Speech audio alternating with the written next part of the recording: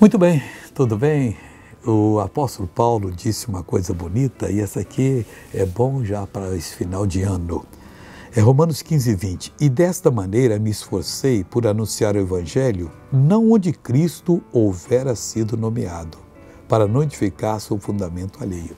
Nós estamos hoje evangelizando o mundo, não só onde Cristo nunca foi nomeado, e muitos lugares estão assim, mas como também onde já é conhecido, conhecido historicamente, não Jesus da Bíblia.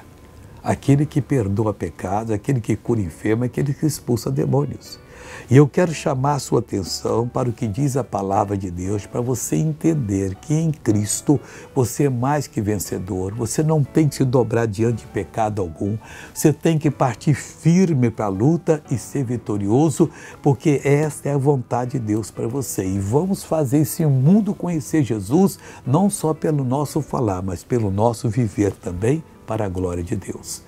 Veja uma pessoa abençoada nas minhas reuniões, eu já volto tinha uma doença que chamava-se epicondilite. E o que, que essa doença fazia, Maria? Eu tratei mais de um ano fazendo fisioterapia e assim, até um garfo que eu pegava, depende do dia, eu tinha que soltar. Dava um choque aqui. E agora?